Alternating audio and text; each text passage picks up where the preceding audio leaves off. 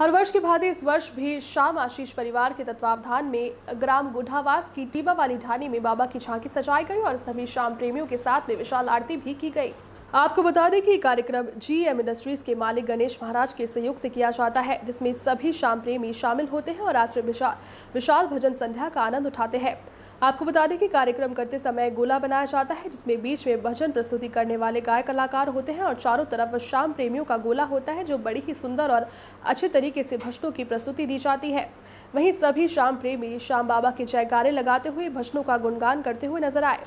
साथ में भजनों को सुनने और बाबा की झांकी को देखने के लिए आसपास हजारों की संख्या में शाम प्रेमी पहुंचते हैं और उसके बाद में शाम बाबा का प्रसाद सभी भक्तों को वितरित भी किया जाता है